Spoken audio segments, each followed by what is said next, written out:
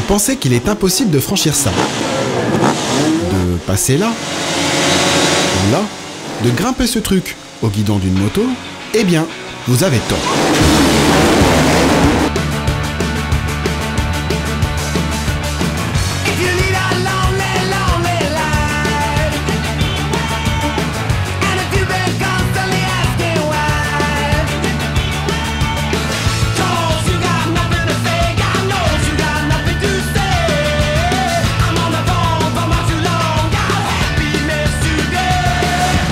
Super enduro, c'est un truc assez bizarre. On prend toute une série d'obstacles, plus ou moins effrayants, on met tout ça dans une salle et on lâche une meute de pilotes bien énervés qui n'ont qu'un seul but, franchir le premier la ligne d'arrivée. Dans le genre concentré de grosses galères au mètre carré, difficile de faire mieux. Afin de comprendre l'essor de cette discipline et de saisir pourquoi des mecs se lançaient dans ce sport de leur plein gré, nous nous sommes rendus à Cahors, voir la finale du championnat du monde. Bon, au début, on a eu droit à la catégorie des pilotes nationaux. Des gars habitués à rouler en plein air, en enduro classique, et qui pour certains en ont bien bavé des ronds de chapeau. D'autres ont su en revanche tirer leur épingle du jeu, comme Bastien Méchin, qui s'impose en national et qui résume à merveille les qualités nécessaires d'un bon pilote de super enduro. Eh ben, pour l'indoor, il faut avoir un peu de chance et puis aussi un peu de couille parce que c'est pas rien ce qu'on fait et euh, on s'entraîne dur toute la saison. Donc le jour de la course, c'est bien que ça paye. Nerveusement, c'est plus difficile que de l'enduro. euh, Classique, oui, c'est plus, c'est plus compliqué. Euh, là, on va y avoir sur une grille comme en autocross. Donc là, on va jouer des coudes et c'est pas comme en enduro où on se bat contre le chrono. Faut, faut sortir les tripes. En haut de l'affiche, on trouve la catégorie prestige, celle des cadors, celle des Taddy Blasiusiak, Johnny Walker, Cody Webb, David Knight, et aussi du français Mathias Bellino, venu faire une pige devant son public. Cette discipline de l'enduro indoor d'une façon un peu plus large, est-ce que tu sens que c'est quelque chose qui monte un peu en puissance? Ouais, ouais, ça prend de l'ampleur. Je pense qu'il y a quelques années en arrière, le championnat du monde, euh, il y avait deux trois bons pilotes.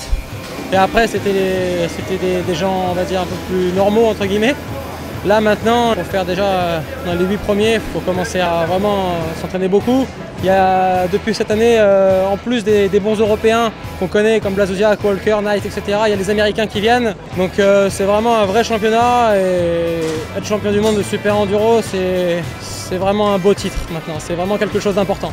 En parlant de champion du monde, il y en a un ici qui n'est pas très partageur. Il s'appelle Taddy Blasiusiak, et ça fait maintenant 5 ans qu'il enfile les couronnes mondiales comme des perles. À Cahors, le Polonais a piloté avec sa tête. Comme il comptait pas mal de points d'avance sur ses poursuivants, il s'est contenté de jouer placé, laissant Cody Webb et Johnny Walker se partager les victoires de manche.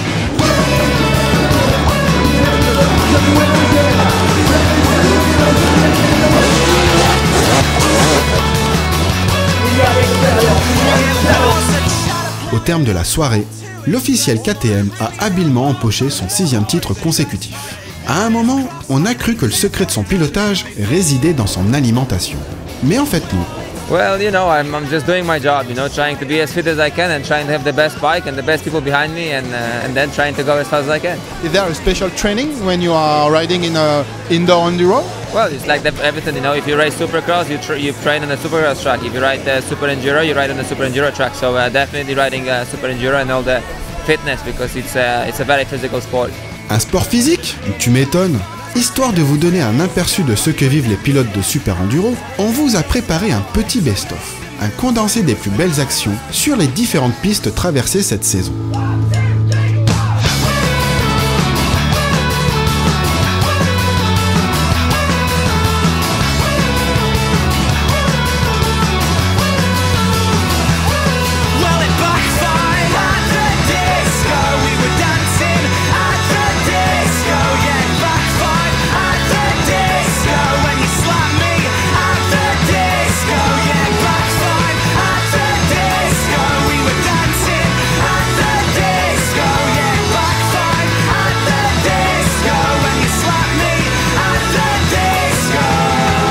L'enduro indoor est apparu en 2000 à Barcelone.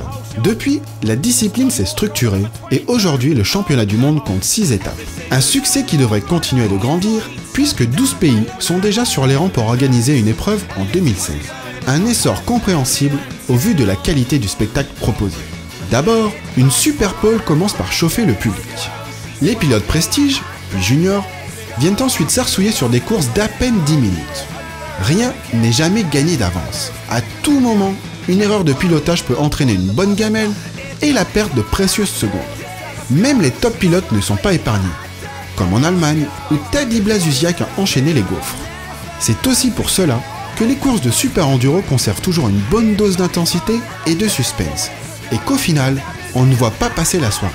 Pour finir, un petit tour de la piste de Cahors avec le sextuple champion du monde. Ça vous branche? Allez, c'est parti ね。